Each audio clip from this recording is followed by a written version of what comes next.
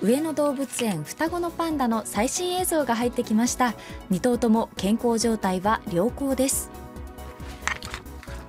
双子パンダはお母さんのシンシンにかまってかまってとじゃれついたりシャオシャオとレイレイで2頭でじゃれ合ったりしています。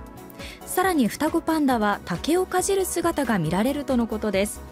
また固形物を食べることに慣れさせるため6月25日から1日 10g 程度のリンゴを与えていて2頭とも時間をかけずに食べられるようになってきています。先月の7月27日頃からレイレイが排泄した糞に竹片が混ざるようになり竹を食べ始めたことが確認されました。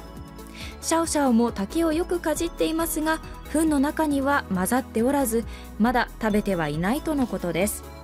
日によって時間や回数は異なりますがお母さんのシンシンが双子パンダへ授乳をしている回数は1日に23回程度です。